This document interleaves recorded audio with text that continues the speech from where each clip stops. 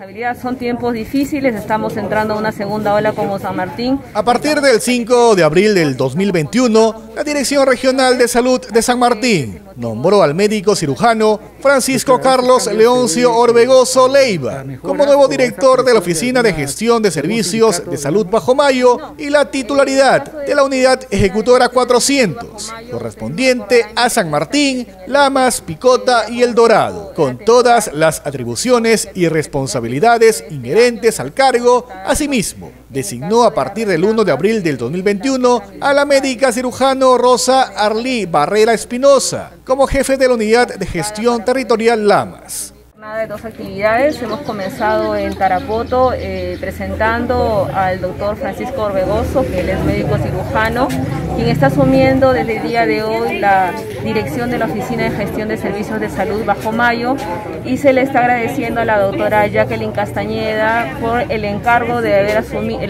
el, haber asumido eh, mediante encargatura eh, la dirección de dicha oficina. Como ustedes recordarán, el año pasado se le encargó estas funciones y señalamos de que para el mes de, marzo de este año ya se tenía que tener eh, al director de forma definitiva y eso es lo que ha ocurrido. Y ahora estoy justamente con el doctor Vegoso, con el equipo de gestión de Bajo Mayo en la ciudad de Lamas, porque también estamos haciendo una transferencia de funciones.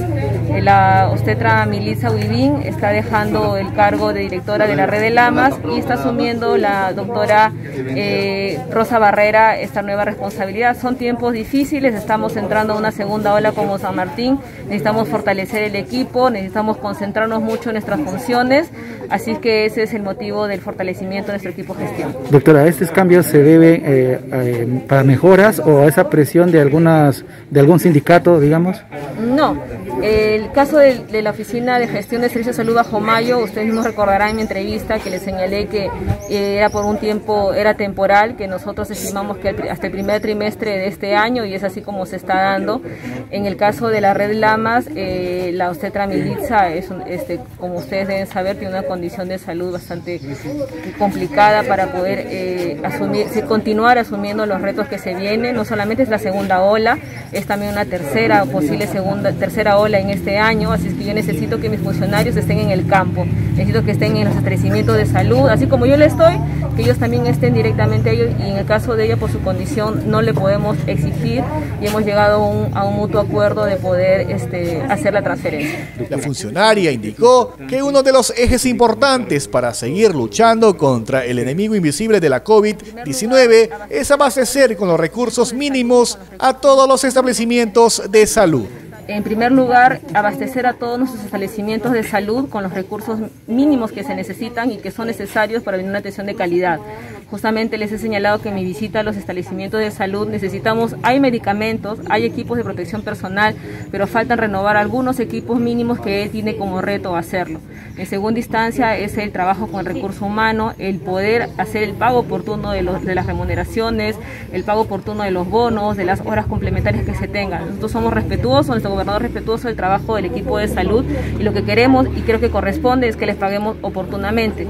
Y en tercer lugar, mejorar la calidad del servicio. Necesitamos mejorar el trato que reciben nuestros pacientes, que ellos sientan que el sistema de salud es para que les dé salud y no para generarles algún problema, que confíen en nosotros y reducir bastante este tema de la automedicación, del compra de medicamentos en farmacia, que básicamente refleja la poca este, simpatía o adherencia que tienen hacia nuestro sistema de salud. Finalmente, Leslie Ceballos Quinteros agradeció a la médico cirujano Jacqueline Linday Castañeda Cárdenas por haber desempeñado sus funciones de directora de la Oficina de Gestión de Servicios de Salud Bajo Mayo, así como también a la obstetra Militza Hubin Grandes de Mori, en el cargo de directora de la Red de Salud Lamas. No, eh, yo le agradezco mucho a la doctora Jacqueline Castañeda, realmente hemos podido ordenarnos bastante en términos de administración, eh, eh, ha cumplido el rol que se le había encargado, que era, como ustedes comprenderán, había una enorme queja con el pago de los bonos, una enorme queja con el, contra el pago a locadores, que ya habían como tres meses de deuda, ella ha cumplido ese rol importantísimo y tiene todo el agradecimiento de mi gestión, de nuestro gobernador regional también. Pero los retos ahora son, son distintos, es más presencia en los servicios de salud, el doctor Orbegoso, quien asume el cargo, le hemos pedido que tenga mucha mirada en qué le falta a los establecimientos de salud, así es que es parte del proceso. ¿no? Cambio de la dirección de la OGES 400, eh, la provincia de San Martín, ahora la provincia de Lamas. Mañana, ¿qué continúa este doctora? Por ahora, bueno, yo siempre estoy evaluando a todo mi equipo. Los retos son enormes, los retos son bastante fuertes. Esta segunda ola tenemos que aplacarla, a pesar que la población no está colaborando mucho, tenemos que aplacarla, no estamos pasando situaciones críticas todavía como otras regiones donde hace, falta de camas, están falleciendo en las calles, todavía esa situación no, se da, esperamos que no se dé. Quien habla está continuamente en cada uno de los hospitales, establecimientos de salud, así es que todos los funcionarios saben que los estoy evaluando, así como yo hago un trabajo esforzado, que me dirijo a cada uno de los lugares, ellos tienen que hacer lo propio en sus ámbitos territoriales. Si alguien no está logrando cumplir esa, esa meta, por alguna condición personal o de trabajo, la tiene que manifestar y todos nos sometemos a la evaluación.